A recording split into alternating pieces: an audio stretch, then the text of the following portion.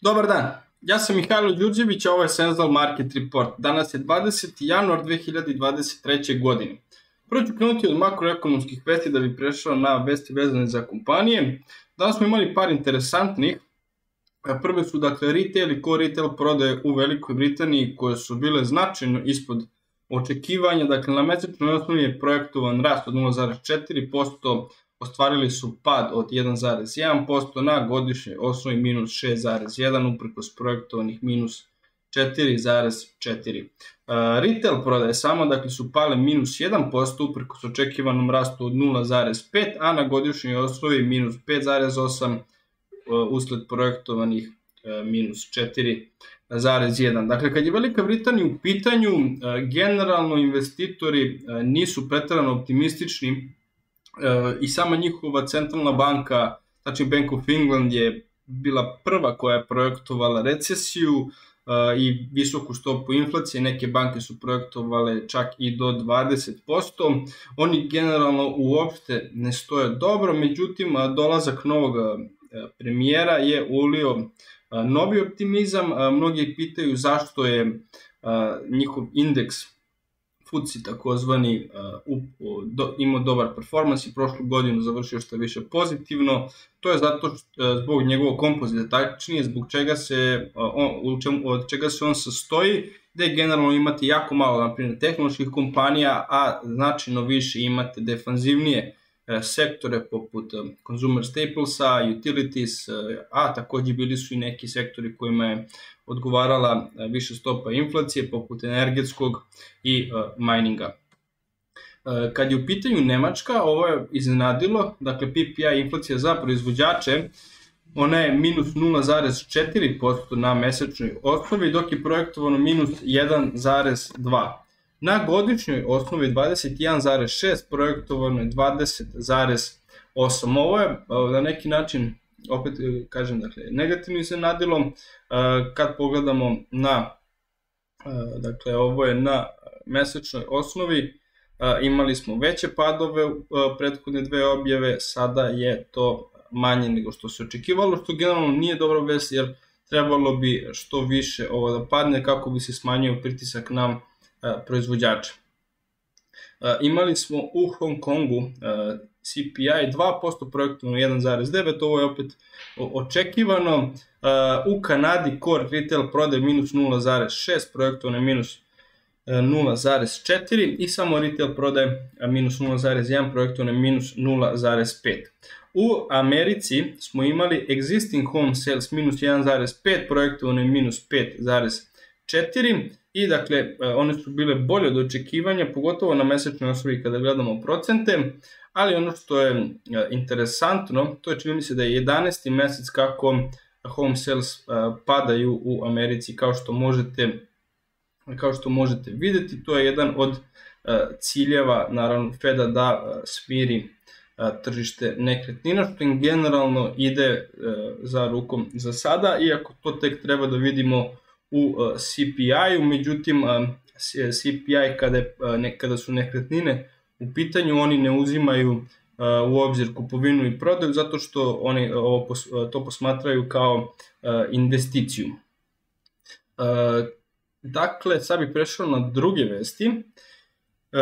Kad su u pitanju bitne stvari koje su se desile, osvrnut se malo više na, na, na, na, na Netflix to je dakle Google se pridružuje tehnološkim kompanijama koje otpuštaju radnike, oni danas rastu par procenata, da oni, su, oni će da otpuste 12.000 zaposlenih i tu se pridružuju dakle i Amazonu koji je pre dva dana otpustio, najave da će otpustiti 18.000 i Microsoft koji je objavio da će otpustiti 10.000 zaposlenih. E, generalni direktor Google e, Sandar Pichai je rekao dakle, da je za kompaniju koja je 25 godina stara, da je normalno da se dešavaju e, određeni problemi kada, kada su naravno u pitanju ekonomski ciklus, što je potpuno normalno i treba uzeti u obzir opet i, i da je Google jedna od senzitivnijih tehnoloških kompanija jer njen veći deo prihoda upravo dolazi od advertisinga, što znači da naravno kada usporava ekonomski ciklus i kada se završava imaće jednostavno privreda će generalno manje ulagati u upravo digital advertising što će negativno uticati na njihov biznis i upravo je ta, to ta cikličnost. Kripto, dakle Genesis, kompanija je objavila Chapter 11 Bankruptcy Protection, to je nešto što se spekulisalo mesecima i evo napokon se i desilo i imamo NATO koji razmatra da li da pošalje tenkove u Ukrajinu. Ono što Poljska pokušava to je dakle da nagovori i Nemačku da ona to uradi, jer ako Nemačka stavi veto, neće, neće jednostavno doći do toga. Nemci uzimaju u obzir da dakle, njima ne odgovara uopšte. Jedna od država koja najmanje odgovara ovaj sukob, zato što je jednostavno su ostvarivali mnogo velike ekonomske benefite zbog jeftinih ruskih energenata i ruda, tako da Nemci su u mogućnosti da staje veto i da ne bude ništa od toga, dok sa druge strane Poljaci smatraju da ne samo da oni ne treba da staje veto, već i da sami uh, pošalju svoje uh, tenkove. Kad su u pitanju, dakle, kompanije, uh, Netflix, e, na njega ću se osvrnuti, dakle imamo Alphabet, dakle on je rasto pri marketu 3,6%, Eli Lilly e, pada oko 1%, e, FDA, tačnije Food and Drug Administration je, nije prihvatila njihov eksperimentalni lek za Alzheimerovu, smatraju da jednostavno nisu dobili dovoljno e, podataka za, e, sa testiranja. Ralph Lauren s druge strane skače, njega je Barkley, Barkley upgradeovao. Oni smatraju da su oni najbolji u klasi brand kada je u pitanju dakle, odeća. Takođe, Berkeley je upgradeovao i PFH koji posjeduje Tommy Hilfiger i Calvin Klein brendove, takođe Nover Weight što u suštini znači E, buy. Regeneron Pharmaceuticals su porasli 1% nakon što ih je JP Morgan upgradeovao. E, oni takođe smatraju da e, oni imaju najbolju u klasi terapiju kada su u pitanju određene bolesti vezane za godine. Pager Duty raste 4% nakon što ih je Morgan Stanley upgradeovao na overweight sa equal weight, dakle opet ponavljam overweight znači by equal weight, znači u suštini hold, tačnije da će biti u liniji sa uh, indeksima, indeksima na primer uh, Salesforce je dobio downgrade od Covena, uh, oni dakle, na market perform što je u suštini equal weight sa outperform što je u suštini overweight. Dakle, oni smatruju da je povećan nivo disrupcijnog rizika zbog jednostavno kompleksnog makroekonomskog okruženja, Nordstrom pada 7% nakon što su objavili da su imali slabije prode za 3,5% u odnosu na isti period prošle godine. I imamo Macy's koji je negativno reagovao između ostalog zbog Nordstroma. Dakle, Macy's je pao kao i Kohl's i Dillard's.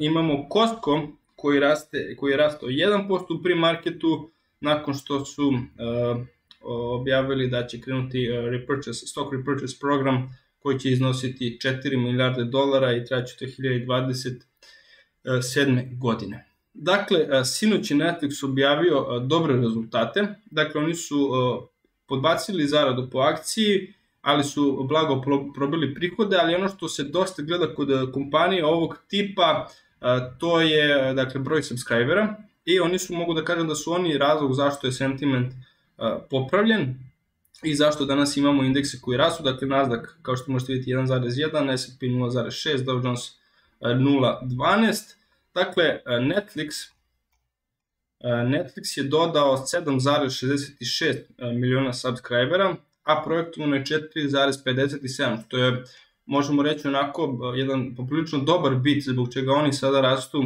7%. Takođe njihov CEO do skorašnji, tačnije je Reed Hastings, on je odlučio da će e, sići sa mesta generalnog direktora i njega će naslediti e, operativni direktor, tačnije COO, e, i koji će raditi uz Ted Serandosa koji je već bio co-CEO. Tako da, kad je Netflix u pitanju, ovo su vrlo dobri rezultati. Oni su takođe krenuli sa njihovim, njihovim novim načinima da monetizuju svoj sadržaj, da ukinu deljenje naloga između ostalog, da uvedu i novi način da, da vi možete da manje platite, ali da vam izlaze reklame. Tako da, mada treba uzeti u obzir i da se ovaj biznis poprilično oporavio, oni su bili i ispod 200, gotovo sada otišli čini mi se oko 60, 60% od, od tog nivoa, nisam siguran koja je tačna cena trenutno. Uh, tako da generalno interesantno dešavanja kad je Netflix u pitanju i ono što bih što su iz managementa rekli to je da u budućnosti neće davati projekcije za subscribere jer će im u budućnosti biti cilj da povećavaju uh, svoje prihode. E, što opet ima potpuno smisla kad uzmemo u obzir i šta su oni, e, šta su, koje poteze povlače u zadnjih e, nekoliko meseci. Kad su u današnji prihodi u pitanju, pri marketu smo imali Schlumberger koji je imao biti na revenue and earnings per share, State Street je pozitivno iznenadio investitore i sa svojim projekcijama, očekivane su bile lošije projekcije, dakle oni rastu skoro 4%, Sandvik je probio prihode, blago su pobacili zaradu po akciji, Regions Financial je gotovo bio u liniji, Huntington Bank Shares su takođe imali bit i na revenue i earnings per share, LM Ericsson bit i na jedno i na uh, drugo, ali Financial takođe su imali bit i na jedno i na drugo. Tako da u suštini to je to za danas. Sledeće nedelje ćemo imati uh, interesantne rezultate kompanija. Uh, osvrnuo bi se na neke neke bitnije, dakle imat ćemo e, naredne nedelje e, Baker Hughes, Brown Brown, ali ono što je interesantno, da, utorak imamo Microsoft, Johnson Johnson, Danaher, uh, Verizon, Texas Instruments, Raytheon, Lockheed Martin, Intuitive Surgical, General Electric, onda imamo u sredu Tesla, ASML, Abbott Laboratories, NextEra Energy, AT&T, IBM, Boeing, Uh, onda u četvrtak Visa, Mastercard, Comcast, Intel, Marsh McLennan i u petak ćemo imati Chevron, American Express, HCA, Charter Communication, Colgate Palmolive. Tako da u suštini dosta interesantnih rezultata naredne nedelje, tako, verujem da će tržište biti uh, takođe volatilno. To je to za danas, hvala vam i vidimo se na berzi.